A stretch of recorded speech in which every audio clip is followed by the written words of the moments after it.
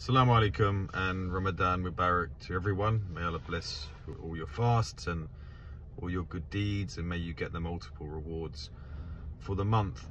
So look, there's going to be a lot of um, kind of uh, fundraisers and lots of very worthy causes, be it um, humanitarian ones or dawah ones or um, on this channel um, we've always dedicated money to um, to Yemen so all the proceeds of this channel since it started has always gone to Yemen.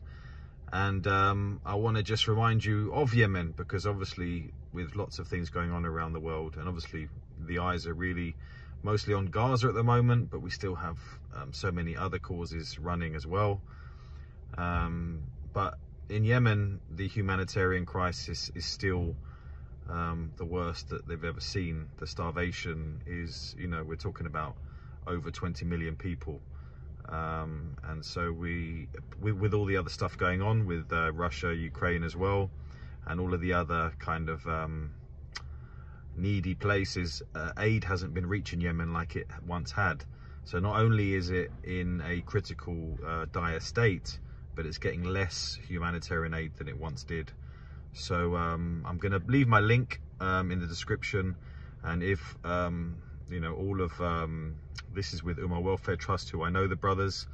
Um, the money does go over every two weeks from my fundraiser, does go to the people that most need it. Um, and so it's trustworthy. And so, yeah, I'm going to leave the link there.